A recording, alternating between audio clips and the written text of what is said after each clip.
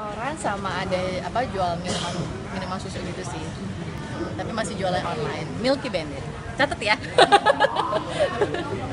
Kalau terinspirasi sudah lama sih. Karena kan memang sebenarnya dari awal uh, buka bisnis pun juga memang bidang F&B itu emang jadi pilihan utama aku. Terus sebenarnya susu ini cuma kayak um, tambahan aja sih gitu loh. Jadi tambahan karena memang aku dari kecil suka susu.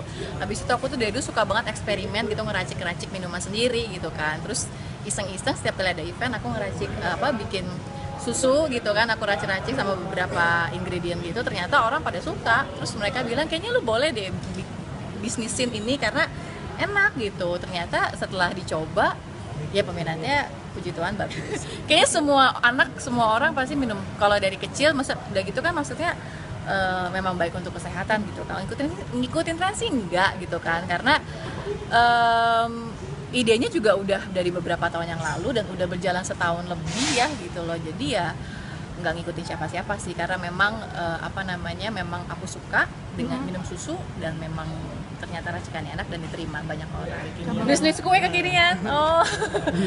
Kayaknya belum deh. Ada sih yang nawarin beberapa cuma kebetulan mungkin aku sendiri um, aku tuh tipe orang kayak yang kalau buka usaha itu pengennya tuh bener-bener bisa bikin gitu loh.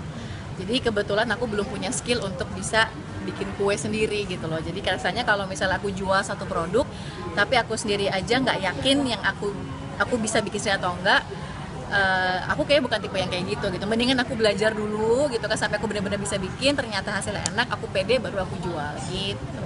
Online tapi rencananya mungkin tahun depan aku udah bakal uh, bikin store-nya karena sekarang masih proses ke arah sana. Sejauh ini peminatnya gimana?